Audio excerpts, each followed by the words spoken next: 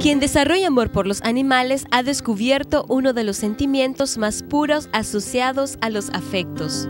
A sus 28 años, Claudia no solo los ama, también los adiestra. Ella es la entrenadora de perros. Siempre que miraba un animalito, pájaro, culebra, lo que fuera, .com, siempre yo quería estar ahí. Los agarraba, no me importaba si me decían que eran bravos, venenosos, siempre me acercaba. Más adelante me relacionaba siempre con perros de los vecinos, uno en específico que era bien bravo, o me decían que era bravo, algo que yo no, no captaba en el momento. Eh, comencé a rescatar gatitos. Mi mamá no quería que yo tuviera muchos animales en ese entonces. Y la mamá de una amiga me dijo de que, ¿por qué no intentaba entrenamiento para perros? Lo comencé a investigar, definitivamente que lo iba a intentar. Pasé todo el transcurso, el entrenamiento y la certificación para ser entrenadora y así poder ayudar mejor. Entrenar perros no es solo enseñarles ciertos modales, es enseñarles a convivir con su entorno.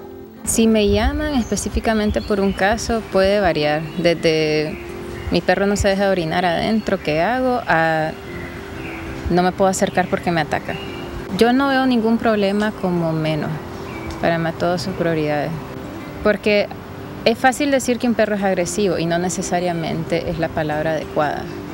Tal vez tiene miedo, tal vez tiene trauma, tal vez simplemente es su forma verbal de comunicarse y la gente piensa que es agresivo y de la misma energía miedosa que uno se acerca a él, él reacciona de esa manera.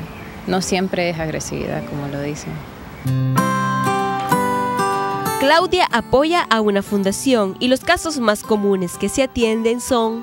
Trabajo con Fundación Adán, eh, ya llevo más o menos 6, 7 años con Fundación Adán.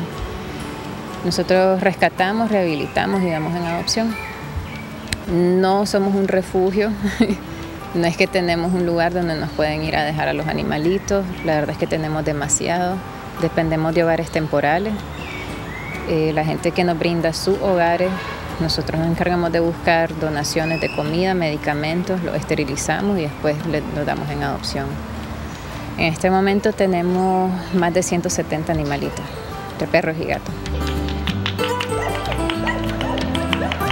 La mayoría de los perros que Claudia tiene en casa han sufrido alguna discapacidad o abandono por parte de sus dueños.